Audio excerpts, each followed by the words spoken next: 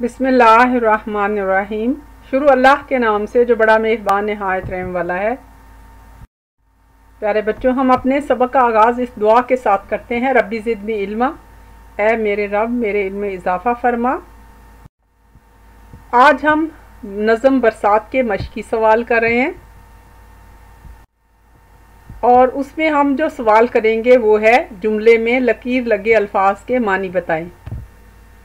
अल्फाज हैं, घटाएँ मीह धूम मचा, दिल बहलाने और बाले।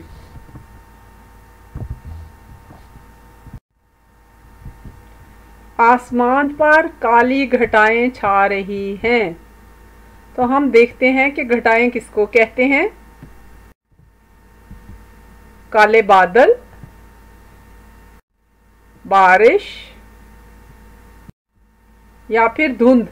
आपको पता है कि जब बहुत ज़्यादा नमी बढ़ जाती है तो सफ़ेद सी आ, पानी के कतरे मौलिक हो जाते हैं और जैसे आपको देख रहे हैं कि धुंधली चीज़ें हो जाती हैं इसको धुंध कहते हैं।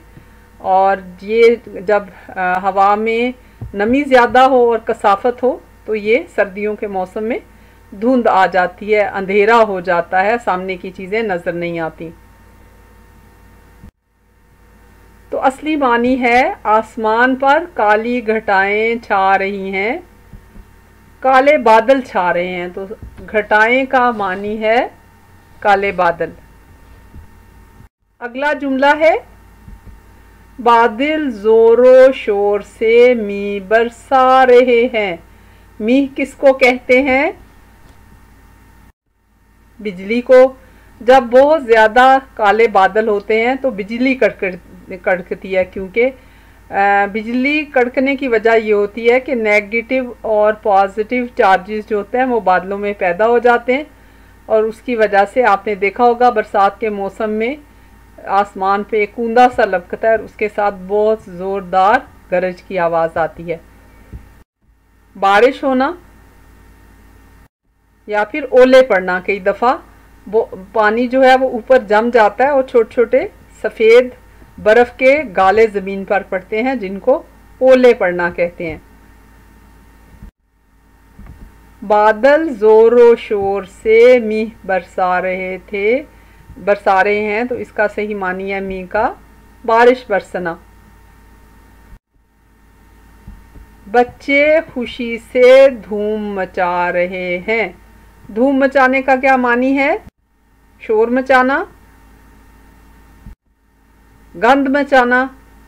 हमें, हमारा पाकिस्तान बहुत खूबसूरत है, लेकिन हमने हर जगह गंद मचाया हुआ है, प्यारे बच्चों। आज से अपने हाथों को रोकें कि आपने गंद नीचे नहीं फेंकना। कोई फेंके आ, उसको भी मना करना है और ख़ुद भी नहीं फेंकना। हम अपने मुल्क को साफ़ सुथरा मुल्क बनाएँगे इन सोग बनाना जब कोई मर जाता है तो सोग मनाते हैं। काले कपड़े पहनते हैं आँखों से आँसू रवा हो जाते हैं उसकी याद में। लेकिन हमारे इस्लाम में मातम करने से नोहा करने से बैन करने से मना किया गया है। और आ, जो है वो सिर्फ़ तीन दिन सोग मनाने की इजाज़त है। और इन्ना लिल्ला व इन्ना ले राज़ी ऊन पढ़ना चाहिए ऐसे मौके पे। बच्चे खुशी से धूम मचा रहे हैं। धूम मचाने क्या का मतलब है? शोर मचाना। अगला जुमला है, लोग दिल बहलाने के लिए बाग में जा रहे थे। दिल बहलाने का क्या मानी है? परेशानी दूर करना। दिल बहलाना, दिल को खुश करना, शोर करना और भागना। तो जब बारिश होती है तो परेशानी दूर करने के लिए लोग बागों में जाते हैं। लोग दिल बहलाने के लिए बाग में जा रहे थे। तो परेशानी दूर करने, दिल बहलाना, परेशानी दूर करना।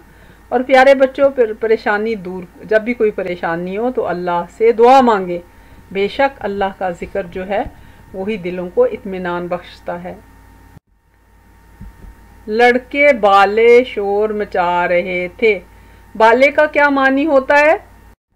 छोटे लड़के? छोटी लड़कियाँ? या फिर बूढ़े? लड़के बाले शोर मचा रहे थे। तो बाले का मानी होता है छोटे लड़के। तो प्यारे बच्चों, इस कायनात की हर चीज़, हर लम्हा तब्दील हो रही है। तगैर के अलावा कोई चीज़ भी मुस्तकिल नहीं, यानी हर चीज़ तब्दील हो रही है। तगैर कहते हैं तब्दीली को। सकूँ महाल है कुदरत के कारखाने में, सबात एक तगैर को है ज़माने में। यानी जो चीज़ मुस्तकिल है, वो तगैर है। हर चीज़ तब्दील हो रही है। लेकिन यही जो है तब्दीली फलों और मुख्तलिफ़ मौसम तब्दील होते हैं मुख्तलिफ़ फल हम खाते हैं आ, कभी गर्मी कभी सर्दी हमारा जो है दिल लगा रहता है। लेकिन एक चीज़ मुस्तकिल है वो है कुरान मजीद अल्लाह की हदायत और इसका इसके हर लफ्ज़ का ज़िम्मा अल्लाह ताला ने इसकी हिफाजत का ज़िम्मा अपने लिए लिया है। तो प्यारे बच्चों अल्लाह की हदायत मुस्तकिल चीज़ है जो नबी करीम वसल्लम पर नाजिल हुई। आज भी वैसी है, इसको तर्जमे के साथ पढ़ें, आप उर्दू पढ़ना सीख रहे हैं। आपको पता चले हमारा रब कैसा है, हम दुनिया में क्यों आए हैं और असल में हमारे करने के काम क्या हैं। अल्लाह को राज़ी करना, अल्लाह से मोहब्बत करना। उम्मीद है आपको सबक पसंद आया होगा, इस चैनल को सब्सक्राइब करें, इस वीडियो को लाइक और शेयर करें।